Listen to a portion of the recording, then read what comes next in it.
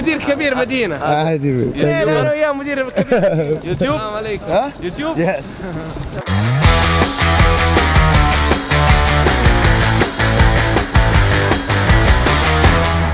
Good morning. Good morning, Bu. What do you make for breakfast? Mie goreng sama telur. Oh Sama. my god.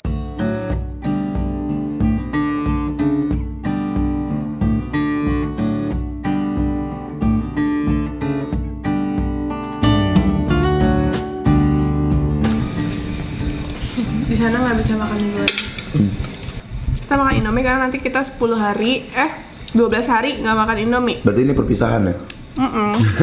So jadwal kumpul di airport itu jam 1 siang.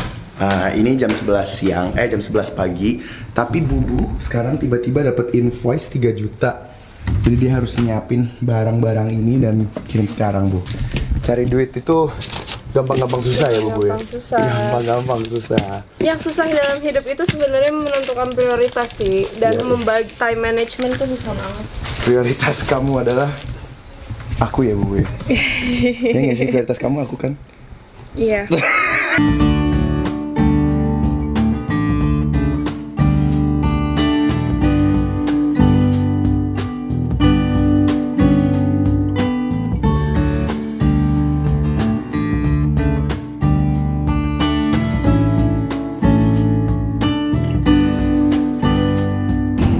berhasil membuat kakak ipar gue yang baik hati ini nyetirin gue Rinda ke airport.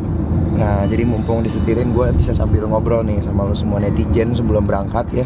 Ada yang pengen gue sampein aja keras. Bukan gue pengen sampein, cuman gue pengen ngobrol aja. Kemarin ada yang komen di channel YouTube gue, dia bilang eh, dia mau ngajak gue ribut ya, hukum rimba, mau mau mau bunuh gue, mau bacok gue di jalanan karena mau ngebelain youtuber idolanya katanya lu ngatain idola gue sini lu ketemu sama gue gue bacok di jalanan.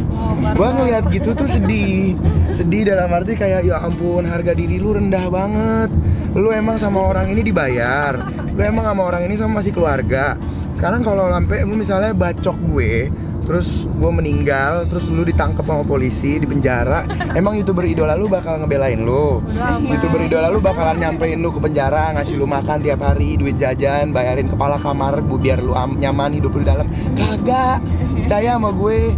Aduh lu malu sama nenek moyang lu nenek moyang lu mening meninggal atau ngebunuh orang tuh karena ngebelain negara ya. Biar biar anak apa biar keturunannya cucu-cucunya kagak dijajah. Mendingan dia jihad ke Palestina. Nah sekalian kalau mau, kalau emang yang jelas yang lu belain yang jelas.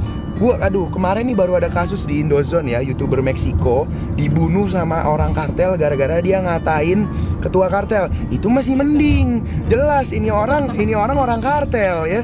Dia dibayar sama kartelnya dia masuk penjara juga keluarganya masih diurusin sama kartel lalu kalau membunuh gue terus masuk penjara keluarga lu gimana diurusin sama youtuber favorit lo mas aduh lu maksud gua gua sedih liat, liat komen-komen kayak gini maksudnya otaknya tuh di mana gitu loh Headline-nya apa ya, Bu? headline-nya apa?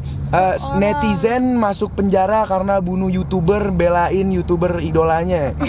kan konyol. Keluarga lu malu, Fatul. Keluarga lu malu, teman-teman lu malu. Ntar lu masuk penjara ya ditanyain sama orang-orang di dalam. Lalu masuk sini kenapa, Bor? Bunuh youtuber, Bang. belain youtuber favorit gue. Hukum rimba, Bang. Bangga gue. Kan Fatul. Yang ada lu di orang-orang di sana suruh makan micin. ya lu di lu dijejelin Ajinomoto lu dalam sono. Jadi pesannya adalah aduh lu jangan jangan jangan kebodohan gitu loh. Masih 19 tahun apa 20 kali itu? Aduh 19 masih kayak gitu sih parah sih Mbak. Aduh. 12 tahun biasanya. Umurnya sih rata-rata 12-an. Iya, kalau yang 19 Fatul, Pak. biasanya masih Fatul. kayak ngomongnya anj, kon. Ya gitu-gitulah. Iya, Maksudnya lu biar apa? Biar kelihatan gahar? Enggak. Itu mah kasar aja udah, enggak enggak enggak ada gahar-gaharnya. Lu ngancem gua bacok-bacok gue ya ampun. Sedih gue dengernya bener deh. Lihatnya tuh kayak ini didikan siapa sih bisa sampai kayak gini? Ya nggak sih? Orang tuanya yang salah didik atau idolanya salah ya? Gue gak ngerti deh. Ini tanggung jawab siapa kira-kira ya ada orang kayak gini, Pak?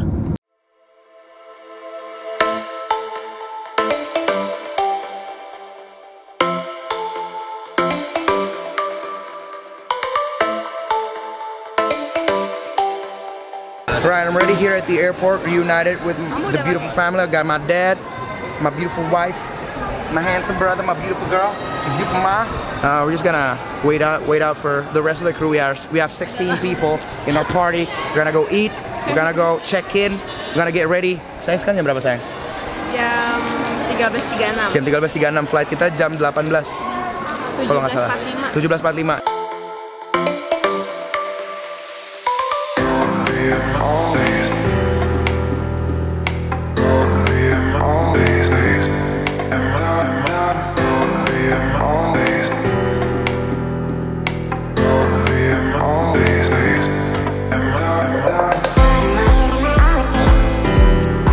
So we made it pengalaman dengan Denatur sharing. Uh, jadi pas nyampe kita dikumpulin semua kopernya sama jadi gampang. Terus kopernya dicekinin, kita dicekinin. Jadi belum apa-apa kita udah pegang boarding pass. Makes life a lot easier. But then again kita cuma ber 16 uh, grup kita, tur kita. Jadi it's so good. Uh, me and the family is already here. We made it. We ate. We drank. We good.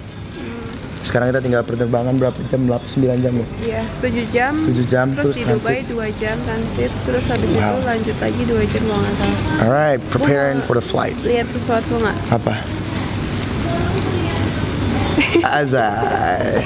Oh kamu pakai ini, kamu pakai ini biar keren ya. Iya. Oh ini tulisannya Denatur. Ini dia, ini travel yang kita pergi bareng. So there you have it. We'll update soon.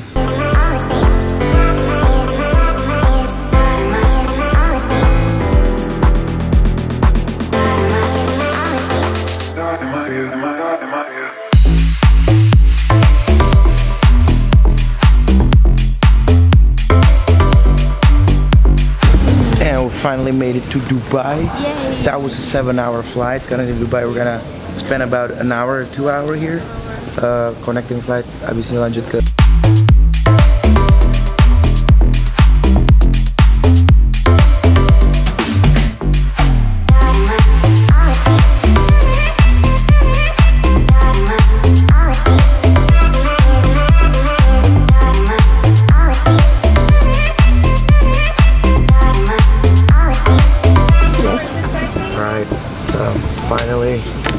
made it to Medina. Welcome to Madinah. Welcome to Madinah. Iya, gitu dong. So dari terakhir tadi kita berdua apa gua bikin sequence Welcome to Medina itu udah ada sekitar 2 jam that was 3 a.m.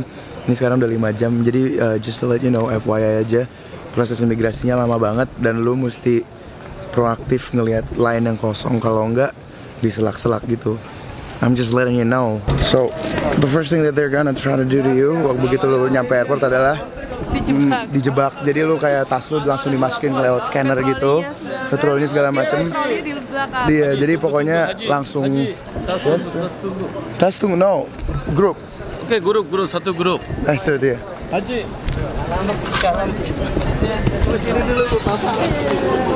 Don't worry about it. Jadi gimana ya satu porter berapa real? 10 real. Jadi kalau sampai kena terus belum punya real bingung dong. Nyari ATM mah. Berarti Oke, ayo Bu, cepetan baterai mau habis.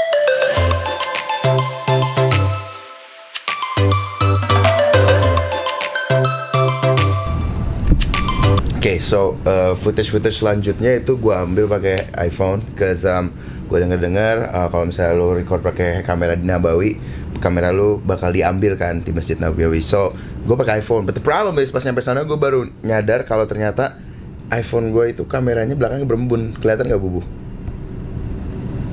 Bukan berembun sih, kemasukan air nih kameranya. Mendingan buka kamera belakang deh. Coba deh, lihat deh. Contohnya jadi kayak gimana? Nih, jadi ada airnya gitu nih kameranya. Hmm, coba buka aplikasi kamera. Pokoknya ini kamera dibuka ya. Jadi kayak gini tuh, Hmm. bekabut gitu kameranya. Hmm. Nah, jadi maklumin aja kalau ada agak-agak ada yang fakta ke footage-nya. Tapi ceritanya masih make sense kok. So, uh, uh, selanjutnya itu gue sama keluarga gue kita ke pertama kalinya ke Masjid Nabawi bareng. Habis itu malamnya, uh, habis itu lanjut ke malamnya kita nyobain fast food favorit di uh, kayaknya di di Madinah sama di Mekah ya. Itu namanya Alba Albaik. Wow, oke. Kita check out aja. Wow, oke. Enjoy Medina.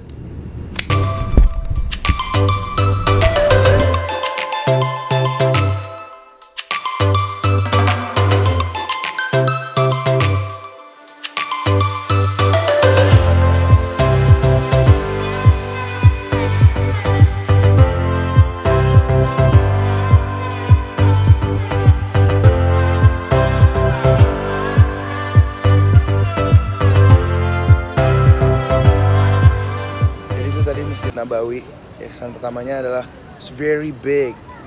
Big, it's huge, gede banget. It's very very very impressive the size. Dan tadi gua sama bokap gua jalan dari ujung ke ujung itu udah capek. Dan eh, arsitekturnya itu bener-bener bagus banget. Nomor wahid deh pokoknya. Payung-payungnya bisa Payung-payungnya juga bisa kelipet sendiri tuh yang di belakang itu dia bisa. And um, most importantly itu bener ya itu dulu tempat Nabi sholat gitu nggak sih jadi the fact that knowing that it's just amazing dan tadi gue di dalam jalan-jalan ngeliat banyak banyak ada yang tadarusan ada yang pengajian terus ada ustadz juga ngasih ceramah gitu segala macem makam Nabi. ya pokoknya apa it's very very peaceful you know Yes. And it's very peaceful and it's very serenity di dalam situ tuh rasanya kayak nyaman aja. Oke ini banyak burung terbang-terbang. Jadi kita lagi parkir dulu sekarang istirahat sebentar, ma makan. Dan bubu seperti biasa nggak mau dikalahin. Selalu pesen makanan yang bagus deh. Ini pesanan bubu doang satu. Yang lain kita cuma pesen kebab segede-gede gini. Orang kamu yang butuh Apa? Kamu yang mau gitu. Anyways, kita makan dulu. Jadi begitulah kehidupan di Medina so far. Ya, sholat, eh, jalan-jalan, tidur, terus jalan-jalan lagi, sholat lagi. Habis ini ada ada yang BM mau check out junk food life-nya. Kita mau lihat junk food culture di Medina kayak gimana. Ya nggak bubu? Yeay.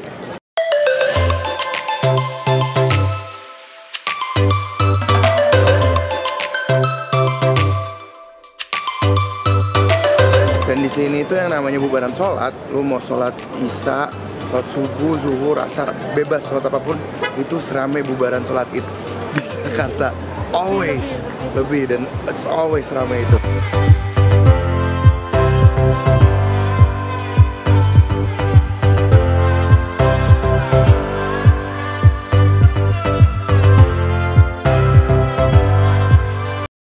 So this is uh, Al Baik, the most famous junk food fast food chain in um, here, around here, I guess.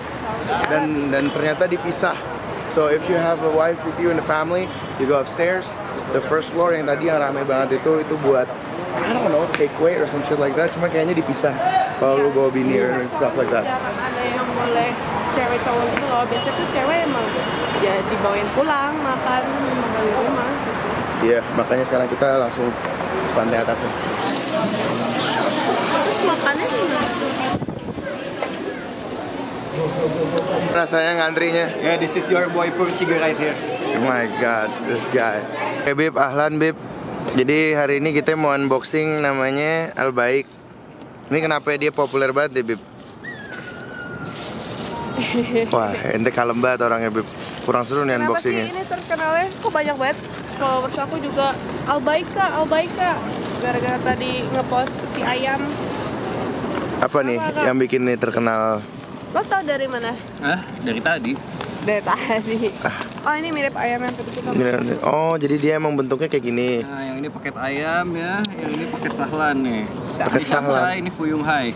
Jadi ceritanya Al Baik itu kayak KFC-nya eh, orang Me- Medina punya ya. Bedanya di sini Jadi di sini ada roti, seafood juga. ada seafood juga. Oh, jadi ini seafood, ini ayam.